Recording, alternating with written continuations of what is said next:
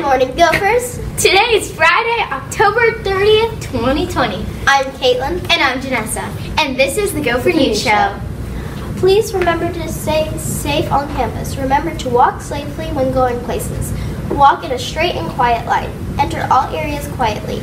Keep your hands, feet to yourself. Always stay off the yellow paint.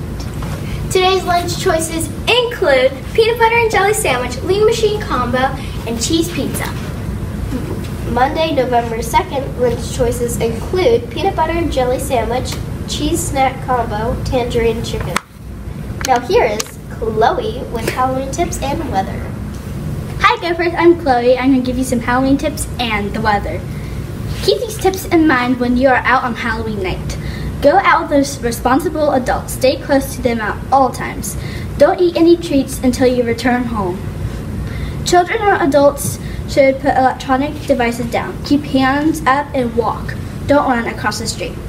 Enter and exit driveways carefully. Be aware of your surroundings at all times. The high for today is 79 and sunny. Thank you, Chloe. Now here is Aurora with the birthdays. Happy birthday to Luca G in kindergarten, Saturday, October 31st birthdays, Malachi B in 5th grade, and Addison C in 1st grade. No birthdays on November 1st. Happy birthday to someone out there.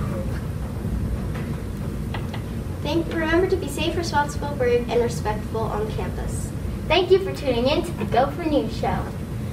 The social is this is next Friday.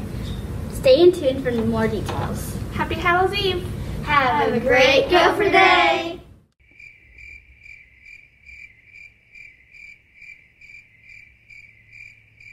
Mm-hmm.